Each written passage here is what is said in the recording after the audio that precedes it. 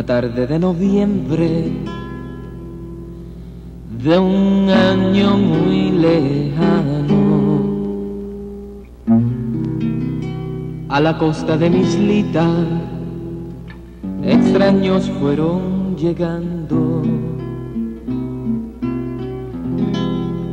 Con ropas desconocidas, rostro blanco y ojos claros. Con nobleza les ofrecieron sus manos. Poco a poco fue cambiando todo cuanto había existido de la India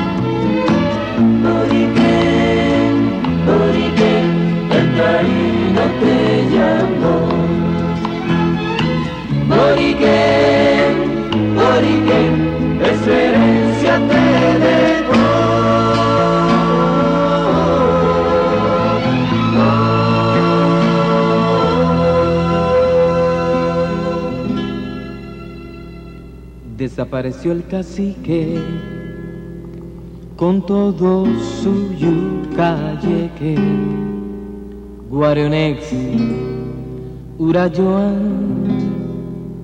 y Aguaybana que era el jefe.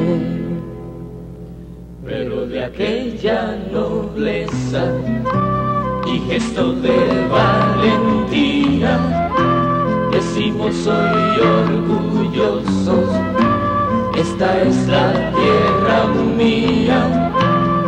recuerdos de aquel taíno